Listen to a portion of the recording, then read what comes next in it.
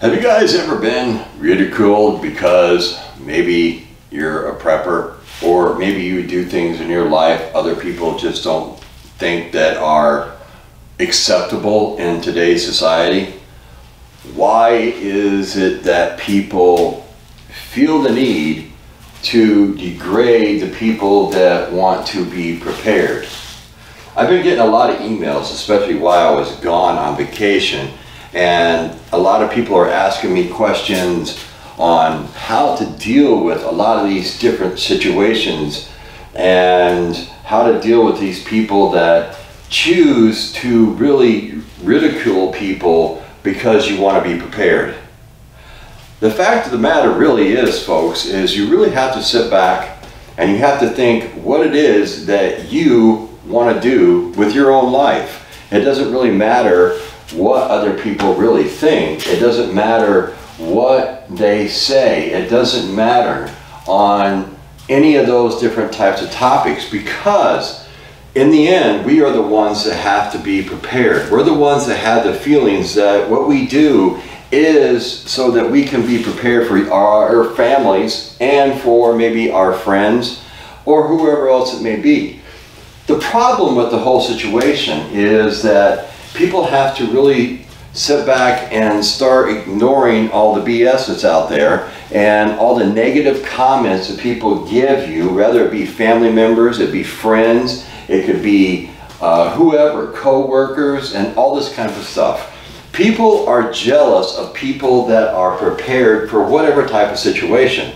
Um, whether it's financial, you could be prepared for your financial freedom.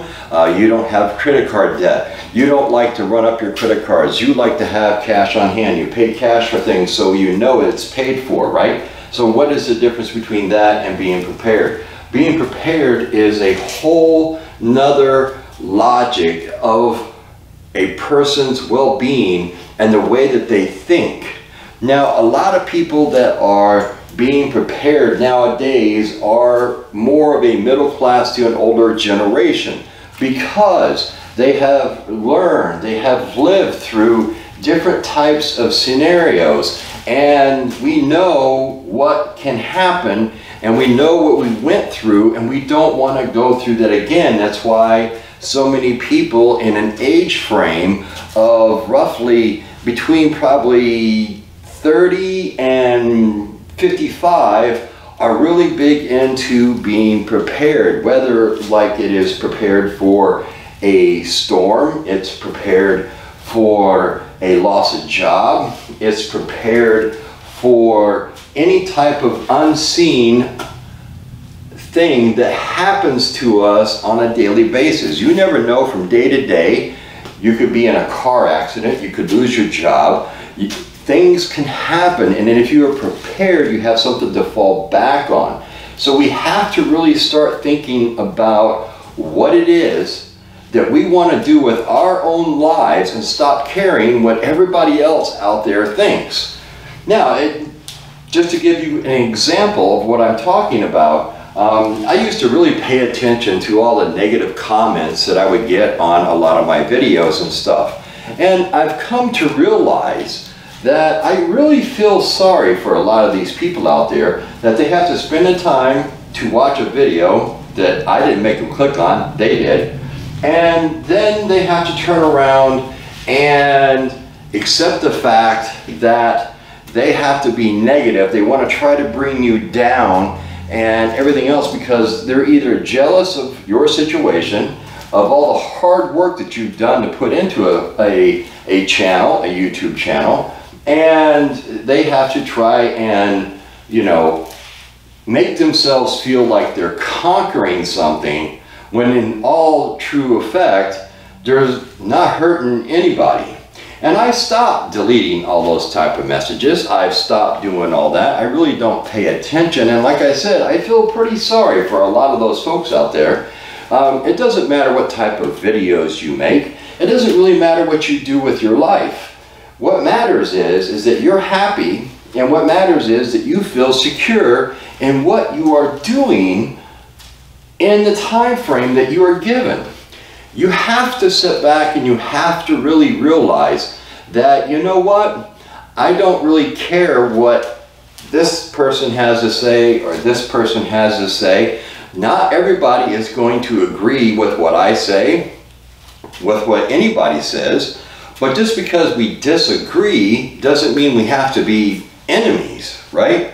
I mean, there's so much of this BS going on, especially nowadays, that we just have to sit back and realize our lives are our lives. We have to do and plan for what we foresee maybe happening in the future. This is something that is a very hard thing for a lot of people to do and to grasp their hands and their head around because it's just not the norm. You see, a lot of people out there, they don't like anything that's out of the norm. These people, they just want to sit back and they want to do whatever they can to try and take you down, bring you down, and everything else, and you have to follow their ways. You have to do things their way. You have to agree with them on every given situation, which is ridiculous. We have to step back and you really have to think about what it is that you particularly want to make sure that you are doing for you and your family and what the quote right thing is for you to do. You want to make sure that you have your own plans. You want to make sure that you do things the way you think that they should be done and in a orderly manner. You want to make sure that you're executing whatever it is that you want to do with your life. Now, I have chosen, I do YouTube videos, I have a Facebook page, I do Instagram, and I do all this kind of stuff, and I do it to better people's knowledge and to make people aware. Now, you may do things different than I do. You may want to have different types of supplies. You may want to have different types of foods because everybody has a different diet that they like, that they want to eat and everything else, but that doesn't stop you from being prepared. What it does is, is it ensures that in the end, you will prevail in the goal that you have set. No difference than if with your job.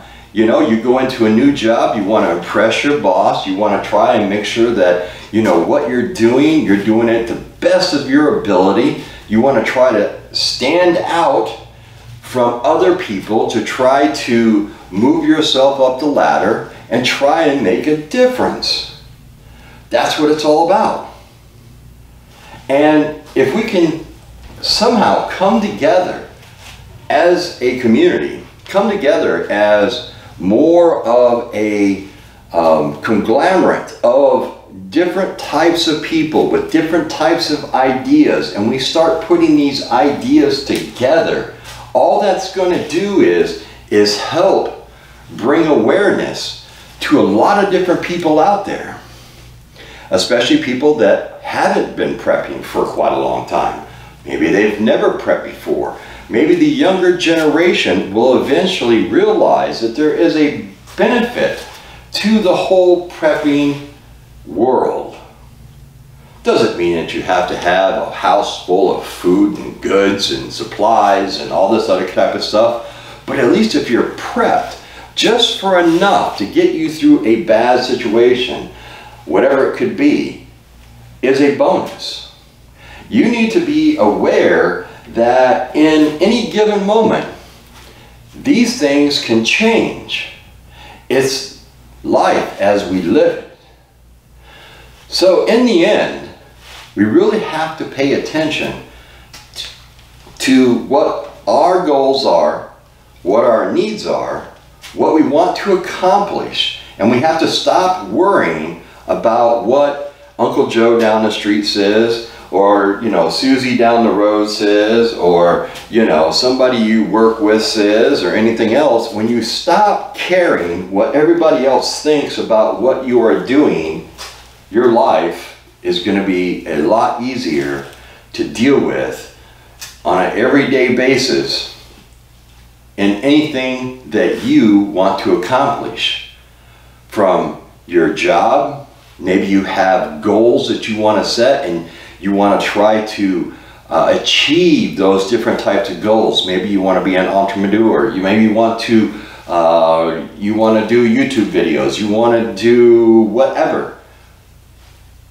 Just because other people don't think that you would be good at it or maybe you wouldn't like to do it or they don't like it or whatever else, you have to at least try.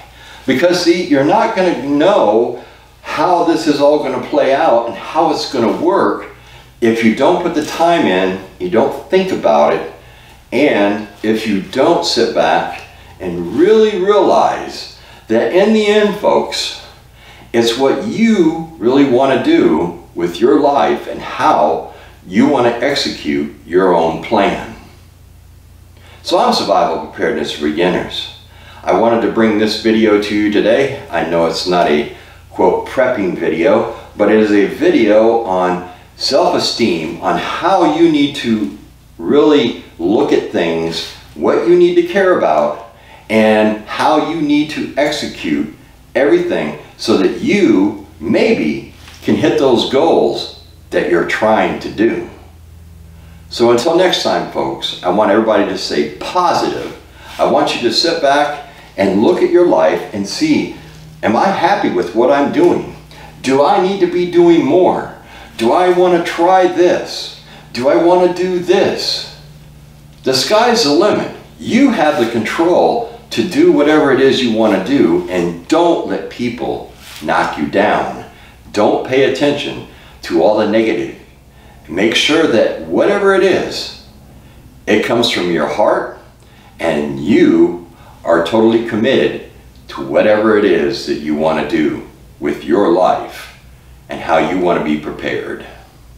So until next time, I'm Survival Preparedness for Beginners. My name is Charles. I'll catch all of you on the flip side.